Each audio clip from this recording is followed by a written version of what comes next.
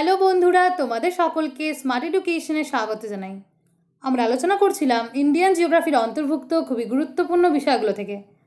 যারা এখনও ভিডিওগুলো দেখোনি, তারা এই ভিডিও ডেসক্রিপশন বক্স এবং আই বাটনে লিঙ্কগুলি দিয়ে দেওয়া রয়েছে, সেখান থেকে দেখে নিও। আজকের ভিডিওতে আমরা আলোচনা করব ভারতের জনসংখ্যা থেকে, যেখানে দু হাজার এগারো সালের সেন্সাস অনুযায়ী ভারতের জনসংখ্যা সম্পর্কিত তথ্যগুলো জেনে নেব। ভিডিওটি শেষ পর্যন্ত দেখার জন্য অনুরোধ রইল। ভিডিওগুলো ভালো লেগে থাকলে বন্ধুদের কাছে শেয়ার করো এবং চ্যানেলটিকে সাবস্ক্রাইব করো নতুন নতুন ভিডিও পেতে। তাহলে শুরু করছি আজকের আলোচনা। প্রথমত জেনে নেব আদম শুমারি বা সেন্সাস কথার অর্থ। উর্দু শব্দ আদম এর অর্থ লোক বা জন এবং শুমারি এর অর্থ গণনা করা। অর্থাৎ আদম শুমারি কথার অর্থ জনগণনা। অপরদিকে আদম শুমারির ইংরেজি শব্দ সেন্সাস এই শব্দটি ল্যাটিন শব্দ সেন্সার থেকে এসেছে। এর অর্থ মূল্য নির্ধারণ বা কর নির্ধারণ করা। এরপরে দেখে নিই আদমশুমারির সংজ্ঞা। যে বিশেষ কার্যপ্রণালীর মাধ্যমে কোনো একটি নির্দিষ্ট দেশের বা নির্দিষ্ট ভূখণ্ডের জনগণের সংখ্যা, জন্ম, মৃত্যুহার এবং তাদের আর্থিক, সামাজিক ও সাংস্কৃতিক পরিসংখ্যান সংগৃহীত হয়, তাকে আদমশুমারি বলে। এবং ভারতে আদমশুমারির কী কী গুরুত্বপূর্ণ তথ্য রয়েছে তা আমরা আলোচনার মধ্য দিয়ে লক্ষ্য করব। দেখে নিই কী কী তথ্য রয়েছে। ভারতে প্রতি দশ বছর অন্তর আদমশুমারি করা হয়। ভারতের প্রথম জনগণনা শুরু হয় আঠেরোশো সাতষট্টি সালে। এই জনগণনা পাঁচ বছর ধরে চলেছিল। অর্থাৎ আঠেরোশো সাতষট্টি থেকে আঠেরোশো একাত্তর সাল পর্যন্ত এই জনগণনা চলে। তাই এটি আঠেরোশো বাহাত্তর সালের জনগণনা নামে পরিচিত। পরবর্তীকালে আঠেরোশো একাশি সাল থেকে ভারতে প্রতি দশ বছর অন্তর জনগণনা শুরু হয়। এরপরে দেখে নেব ভারতে সর্বশেষ জনগণনা হয়েছিল দু হাজার এগারো সালে এবং পরবর্তী যে জনগণনা হবে তা দু হাজার একুশ সালে কারণ দশ বছর অন্তর অন্তর জনগণনা হয়ে থাকে। দু হাজার এগারো সালে জনগণনা ভারতের পনেরোতম আদমশুমারি এবং এটি স্বাধীন ভারতের সপ্তম আদমশুমারি নামে পরিচিত। কারণ স্বাধীন ভারতে উনিশশো একান্ন সাল থেকে জনগণনা শুরু হয়েছিল। এরপরে রয়েছে দু এগারো সালে আদমশুমারির স্লোগান ছিল আওয়ার সেন্সাস আওয়ার ফিউচার অর্থাৎ আমাদের জনগণনাই আমাদের ভবিষ্যৎ। এভাবে আমরা ভারতে আদমশুমারির কিছু গুরুত্বপূর্ণ তথ্য লক্ষ্য করলাম। এরপরে দেখে নেব দু সালের সেন্সাস অনুযায়ী ভারতে জনসংখ্যা বিষয়ক কী কী গুরুত্বপূর্ণ তথ্য রয়েছে। ভারত বিশ্বের দ্বিতীয় জনবহুল দেশ। এখানে একটু টাইপিং মিস্টেক রয়েছে, এখানে হবে পৃথিবী। পৃথিবীতে মোট জনসংখ্যার মধ্যে সেভেন্টিন পয়েন্ট ফাইভ পার্সেন্ট ভারতের জনসংখ্যা। ভারতের মোট জনসংখ্যা একশো একুশ কোটি, এক লক্ষ তিরানব্বই হাজার চারশো বাইশ জন। পুরুষ জনসংখ্যা রয়েছে বাষট্টি পয়েন্ট সাঁত্রিশ কোটি এবং স্ত্রী জনসংখ্যা রয়েছে আটান্ন পয়েন্ট পঁয়ষট্টি কোটি। এরপরে রয়েছে ভারতে সাক্ষরতার হার। ভারতে মোট সাক্ষরতার হার seventy four point zero four percent রয়েছে। নারী সাক্ষরতার হার রয়েছে sixty five point forty six percent এবং পুরুষ সাক্ষরতার হার রয়েছে eighty two point fourteen percent তোমাদের এগুলোকে খুব ভালোভাবে মনে রাখতে হবে। কারণ পরবর্তীতে যখন মক টেস্ট না হবে, তখন যাতে তোমরা খুব সহজভাবেই উত্তরগুলো দিতে পারো। এরপরে দেখে নেব লিঙ্গ অনুপাত। নারী ইস্টু পুরুষ, যেখানে নশো চল্লিশ ইস্টু হাজার রয়েছে। জন্মহার রয়েছে হাজার জনের মধ্যে কুড়ি পয়েন্ট নাইনটি সেভেন জন এবং মৃত্যুহার রয়েছে হাজার জনে সেভেন পয়েন্ট ফর্টি এইট এবং জনসংখ্যা বৃদ্ধির হার যেখানে সেভেন্টিন পয়েন্ট সিক্সটি ফোর এটি কিন্তু দশ বছরের জনসংখ্যার বৃদ্ধির হারটিকে দেখানো রয়েছে। এরপরে আরও কিছু গুরুত্বপূর্ণ তথ্য আমরা লক্ষ্য করব। জনঘনত্ব। তিনশো বিরাশি জন পার বর্গ কিলোমিটার ভারতের জনঘনত্ব এবং ভারতের মানুষ জমি অনুপাত তিনশো চব্বিশ জন পার বর্গ কিলোমিটার, অর্থাৎ প্রতি বর্গ কিলোমিটারে তিনশো চব্বিশ জন। ভারতে গ্রামীণ জনসংখ্যা রয়েছে sixty eight point eighty four percent শহরের জনসংখ্যা রয়েছে thirty one point sixty four percent নির্ভরশীল জনসংখ্যার অনুপাত fifty seven point twenty three percent রয়েছে। ভারতে প্রত্যাশিত আয়ুষ্কাল সিক্সটি নাইন বছর। পুরুষের প্রত্যাশিত আয়ুষ্কাল sixty seven point sixty four বছর। নারীর প্রত্যাশিত আয়ুষ্কাল seventy two point sixty one বছর। এবং রয়েছে ভারতে মোট মহানগরের সংখ্যা তেপ্পান্নটি। এরপরে দেখে নেব ভারতে নির্ভরশীল জনসংখ্যা, প্রাপ্ত জনসংখ্যা, অর্থাৎ প্রাপ্তবয়স্ক জনসংখ্যা এবং অপ্রাপ্তবয়স্ক জনসংখ্যা। প্রথমত, নির্ভরশীল জনসংখ্যা, কোন বয়সের জনসংখ্যাকে বোঝানো হয়েছে তা জেনে নিই শূন্য থেকে চোদ্দ বছর এবং ষাট বছরের বেশি জনসংখ্যা, নির্ভরশীল জনসংখ্যা। এই জনসংখ্যা ভারতে thirty nine point seventy percent রয়েছে। এবং প্রাপ্তবয়স্ক জনসংখ্যা বলতে পনেরো বছর বা তার বেশি জনসংখ্যাকে বোঝানো হয়েছে। আমরা এখানে পিরামিডের মধ্যে লক্ষ্য করছি যে পনেরো থেকে ষাট বছর এর মাঝে যে জনসংখ্যা, এটি হলো প্রাপ্তবয়স্ক জনসংখ্যা এবং ভারতে এর পরিমাণ রয়েছে sixty nine point twenty percent এবং রয়েছে অপ্রাপ্তবয়স্ক জনসংখ্যা বলতে শূন্য থেকে চোদ্দ বছরের জনসংখ্যাকে বোঝানো হয়েছে এবং এর পরিমাণ রয়েছে থার্টি পয়েন্ট এইট্টি পারসেন্ট এরপরে আমরা লক্ষ্য করব জনঘনত্ব, ভারতে কীরূপ রয়েছে? প্রথমত, রাজ্যের ভিত্তিতে ভারতের সর্বনিম্ন এবং সর্বোচ্চ জনঘনত্বযুক্ত রাজ্যগুলো জানব।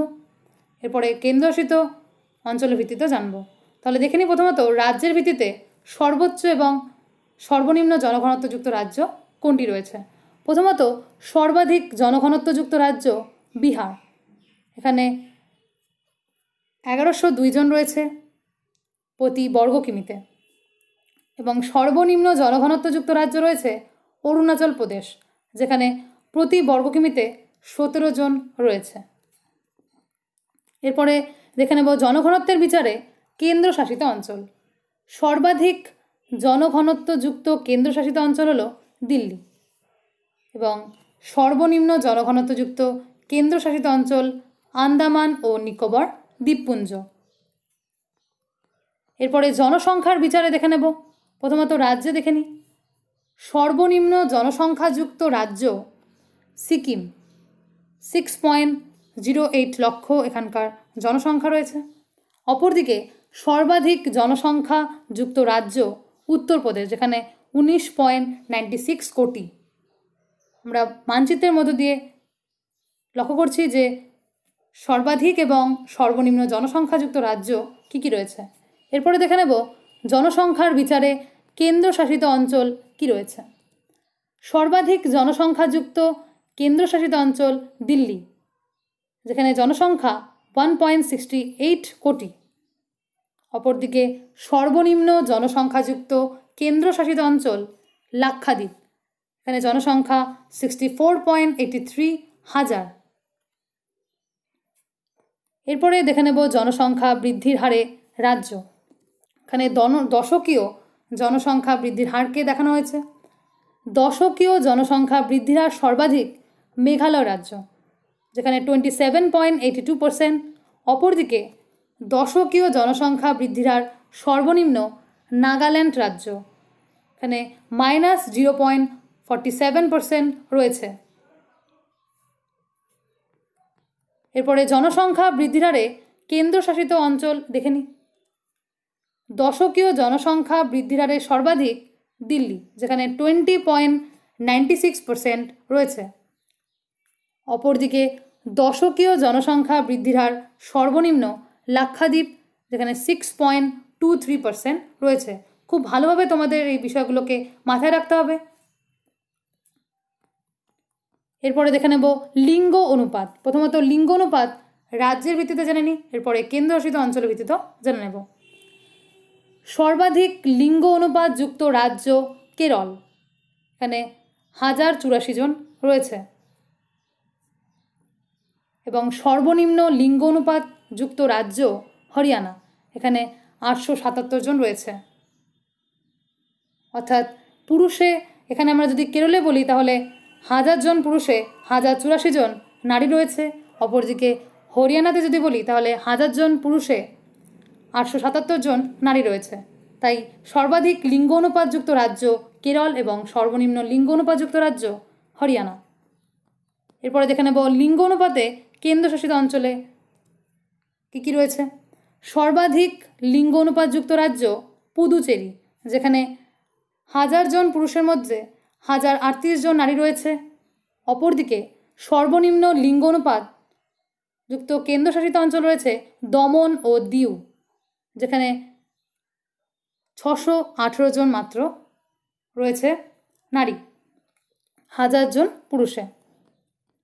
এরপরে জেনে নেব সাক্ষরতার হারে কোন রাজ্য সর্বাধিক এবং কোন রাজ্য সর্বনিম্ন। সর্বাধিক সাক্ষরতার হার কেরল রাজ্যে রয়েছে, যেখানে ninety three point ninety one percent সর্বনিম্ন সাক্ষরতার হার বিহারে রয়েছে, যেখানে sixty three point eighty two percent এবং সাক্ষরতার হারে কেন্দ্রশাসিত অঞ্চল কী কী রয়েছে দেখে সর্বনিম্ন সাক্ষরতার হার Dadra Nagar Haveli seventy seven point sixty five percent অপরদিকে সর্বাধিক সাক্ষরতার হার লাক্ষাদ্বীপে রয়েছে যেখানে ninety two point twenty eight percent এরপরে দেখে নিই এসসি জনসংখ্যা। সর্বাধিক এসসি জনসংখ্যা যদি লক্ষ্য করি সেটি হবে উত্তরপ্রদেশ রাজ্যে রয়েছে। এবং সর্বাধিক এসসি জনসংখ্যা যদি শতাংশের ভিত্তিতে দেখি, তাহলে সেটি হবে পাঞ্জাব রাজ্য। এবং এসটি জনসংখ্যা দেখে নিই। সর্বাধিক এসটি জনসংখ্যাযুক্ত রাজ্য মধ্যপ্রদেশ হবে এবং অপরদিকে সর্বাধিক এসটি জনসংখ্যা কেন্দ্রশাসিত অঞ্চল বললে তাহলে সেটি হবে লাক্ষাদ্বীপ। এরপরে দেখে নেব শহুরে জনসংখ্যার ভিত্তিতে।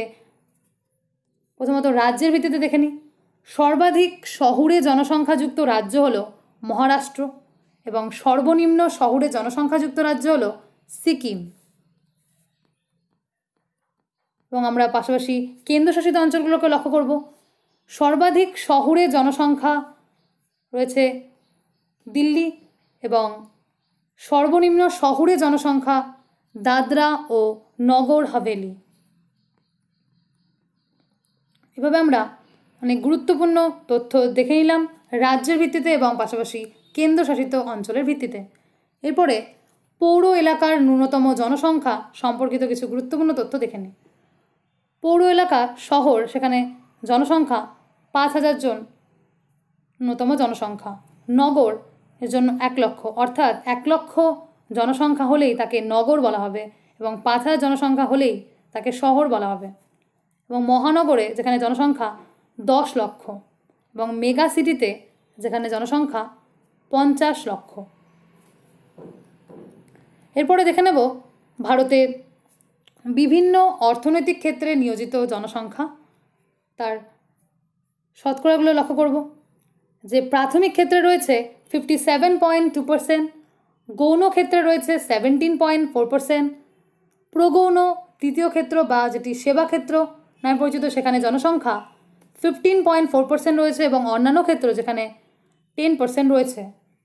এভাবে আমরা লক্ষ্য করলাম যে ভারতে বিভিন্ন অর্থনৈতিক ক্ষেত্রে যে নিয়োজিত জনসংখ্যা রয়েছে, তার শতাংশগুলো। এভাবেই আমরা আজকের আলোচনা সমাপ্ত করলাম। ধন্যবাদ বন্ধুরা ভিডিওটি দেখার জন্য। পরবর্তী ভিডিওগুলো পেতে অবশ্যই স্মার্ট এডুকেশন চ্যানেলকে সাবস্ক্রাইব করো। স্মার্ট এডুকেশন চ্যানেলের সাথে যুক্ত হতে ফেসবুকে স্মার্ট এডুকেশন পেজ রয়েছে, তোমরা সেখানেও যুক্ত হতে পারো। ভিডিওটি কেমন লাগল তা কমেন্ট করে জানিও। ধন্যবাদ বন্ধুরা ভিডিওটি দেখার জন্য।